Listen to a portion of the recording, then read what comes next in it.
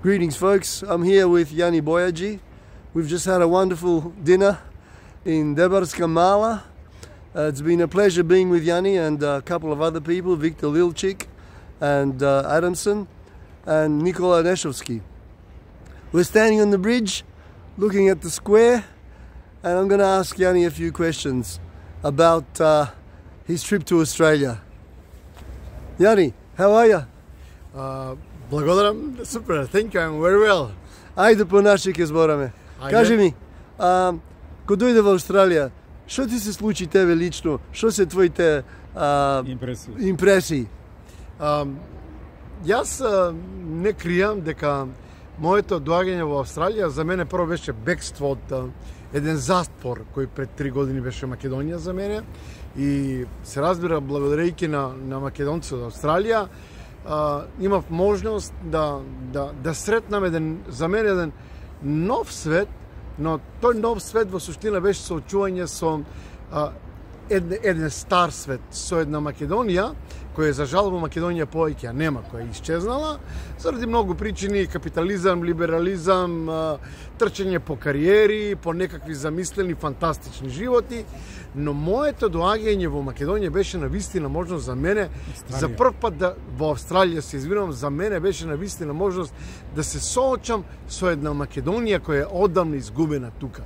Една Македонија која се темели на вистински едноставни човечки вредности, на љубов, на разбирање, на отвореност, на топлина, на гостопримство, на потреба на желба да се угости свој човек, да му се даде најдоброто, да се помогне, да му се отвори патот кон иднината.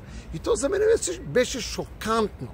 Затоа што а, австралијанците во Македонија, особено оние генерации кои се таму родени и кои не знаат точно, нели, како изгледа Македонија денес, уште помалку како Македонија изгледа некогаш, треба да знаат дека ние сме ги заборавили оние вистински, едноставни, морални вредности на на македонството, на на обичниот човек. А, причините ги кажав и да не, да не, да не се повторувам, така да за мене а, Австралија на вистина беше состојба во која се чувствував како капетанот а, а, Джеймс Кук, а, кој за жал пет века подоцна ја открил не Австралија, туку Македонија на неговото патување во далечната Австралија. Така да бескрајно сум благодарен на, на на сите вас, на, на, на Живан, на Вангел, особено на, на, на, една група на луѓе кои ме донесува таму, тоа, тоа беше сојот на македонците од Австралија, Мери Божинов, Мери Сартина, Вал Стоилковска, а, Светлана Стојановска, Ицо Најдовски и многу други луѓе кои на вистина за мене еден сон да се дојде во Австралија го направија реалност, една приказна која никогаш нема да ја заборавам и која ќе ја памтам додека сум жив. Јани, кај се најдва Македонија сега? А, во Австралија, во Нов Зеланд, во во во Канада, во United States, во Свицерланд, во Германи. На, на, во овој момент Македонија има на секаде и тоа е добро. За жал многу малку има во Македонија, но нема да биде тоа така. Ние правиме се, како се ка сите заедно, сите македонци од цел свет, вклучително и македонците од Австралија како како најголема македонска заедница надвор од Македонија. Практично јас многу пати кажувам шегувајќи се дека а, втор по големиот македонски град е Мелбурн.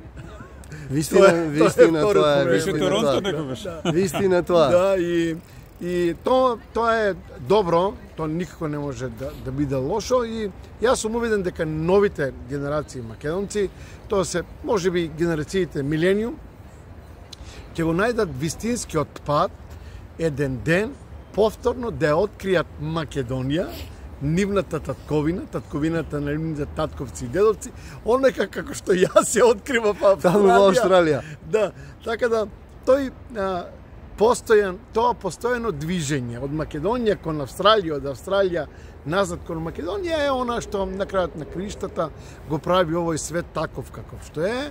Треба да разбереме дека светот е мал, денес лесно се патува и ефтино, така да ќе поканувам сите македонци од Австралија, ајте во Македонија, има што да се прави, има што да се работи, Македонија е прекрасна, сега се отварат многу можности во многу индустрии, особено во IT индустријата.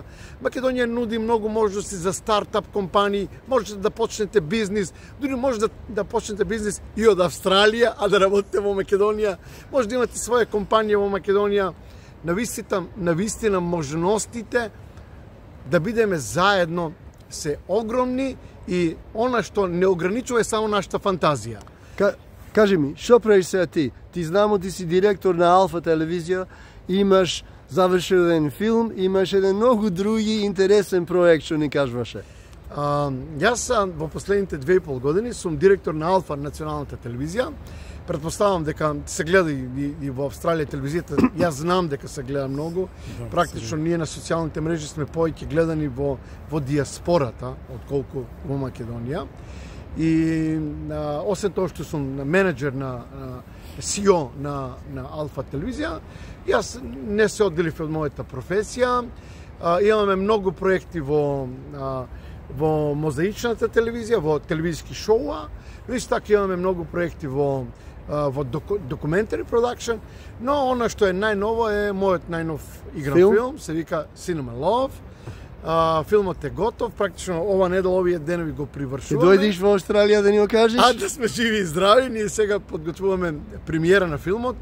А, бидејќи дистрибутери, јас се потрудив овој пат за разлика од uh, Mocking of Christ, uh, филмот да има дистрибутери кои тие ќе се грижат за дистрибуција на филмот и мислам дека некаде на летото ќе биде премиера, премиерата на филмот на еден голем балкански фестивал и потоа здрави живи, нели како се вика, ќе ќе го покажеме филмот во Австралија, пред македонците. Едва чекам да се вратам во Австралија. Јас Нема проблем, ќе те заесам на виетнамска ф супа. Знаеш што, за Македонија си песимист или оптимист? А, јас сум за Македонија оптимист. А, добрите денови се пред нас на вистина се случија многу работи кои се непријатни, кои да бидеме искрени, честни, на вистина ќе останат големи траги во во иднината, но нема народ, нема нација која не постигнала нешто, не се качила некаде високо, а потоа и не паднала. Големината на еден народ не е во тоа колку високо може да се качи, туку во тоа од која ќе падне, како и на кој начин поврзо повторно ќе се качи нагоре. Во тој смисол, јас знам дека ние паднавме, но сега веќе се качуваме нагоре. Се разбира, тој пат нагоре е многу полесен ако го одиме сите заедно. Македонците од Републиката, од Македонија, македонците од Австралија, од Нов Зеланд, од Канада, од Америка, од Европа, од сите, затоа ги повикувам особено македонците од Австралија кои се најмногу бројни најинтелигентни, најобразовани, најподготвени да се соочат со новиот свет, затоа што Австралија ја има таа среќа да биде нели на средина помеѓу Америка и помеѓу Истокот и ги повикувам сите македонци, дојдете со своите знаења, умења, дојдете тука, споделете ги со нас, тоа што не го знаеме ќе го научиме од вас и ќе ја направиме тоа што вика Трамп, let's make Macedonia great again. again. Имаше една многу интересна идеја и интересна желба. Тоа што ми каза во, во ресторанто за да, до, да дојдат од странство македонци во, во, суд, во судоите и во, во легалниот процес. А, јас припаѓам на една група луѓе кои во овој момент а, подготвуваме една програма која тоа е non-government organization а, која крајната цел на таа организација е да ги привлече македонците од секаде во светот да дојдат во Македонија. Но не во приватниот бизнис. Тоа е одделна работа. Приватниот бизнис е приватна работа. Кој сака да биде бизнисмен, нека биде бизнисмен. Ние сакаме да направиме програма со кој македонците од цел свет, особено од Австралија, затоа што ги има најмногу и се најобразовани да дојдат и да бидат министри во идната влада, да бидат заменици министри, да бидат директори на државни компании, каде што може да се прават промени, каде што може луѓе кои имаат квалификации, знаење, вештини, универзитетски дипломи, како што имаат многу македонци во Австралија, тоа знаење да го донесат тука со себе си и да го споделат на Македонија. Потоа да бидат управители во државни компании, во институции, И на крајот, она што е најважно, се надевам дека многу скоро, кога ќе има избор на нови суди и обвинители во Македонија, да дојдат македонци од Австралија во Македонија и да бидат судови, судии и да бидат обвинители со цел повторно да направиме rule of law во, Македонија и да завладее правото, правдината и од кога ќе има правдина, сите работи ќе бидат полесни. Јас сум убеден дека тоа може да го направат само македонци од диаспората, затоа што тие не се извалкани, тоа се чисти луѓе, тоа се патриоти и на крајот и најважното се, тоа се луѓе кои се образовани и подготвени да го направат тоа. Јани, ти благодарам, брат.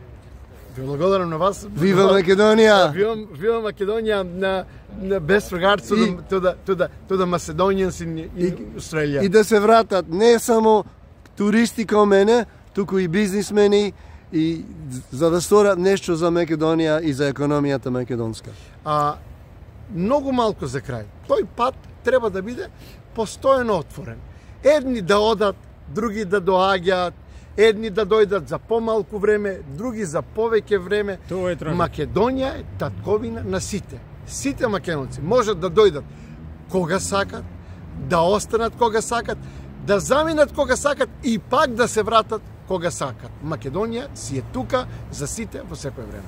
А последното прашање е колку е менат Скопје од а, овие 20 години? И што мислиш ти за Скопје 2014? А, се разбира дека во последните 20 години Скопје многу променет како град и на вистина од од после тој проект Скопје 2014 каде што ние сме прочем сега ова е еден мост кој е нов и кој е отворен пред а, неколку месеци Да, скоро.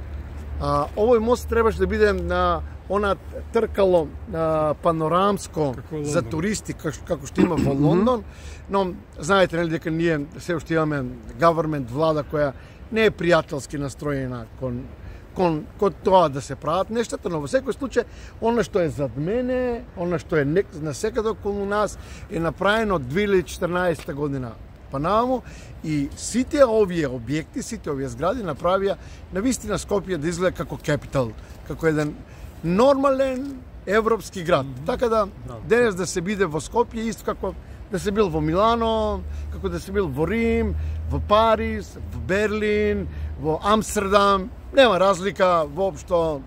А, Скопје е еден навистина многу убав и многу пристоен европски град и морам да им кажам на македонците многу безбеден град. А, буквално верувајте ми може да се легнете тука на улица и да спиете цела вечер.